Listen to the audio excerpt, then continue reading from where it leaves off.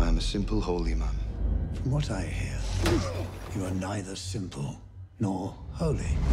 Holy, holy, holy. Rasputin establishes himself as a bit of a guru in St. Petersburg's high society.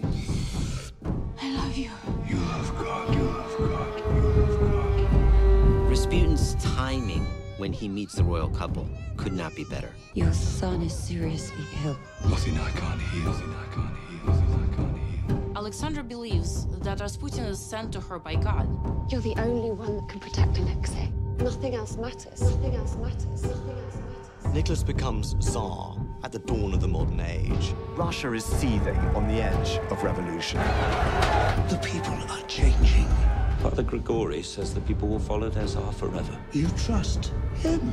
Rasputin wields enormous power. It's catastrophic for the dynasty. Exile them all. Save your country. Save your country. I will do whatever it takes to keep you by my side. We don't just regret this kind of thing, we burn for it. We need to distance ourselves from it. And what about your son? It's For the good of Russia that he stays. For the good of Russia that he stays. Nothing I can't heal, Nothing else matters. nothing I can't heal. God is with us.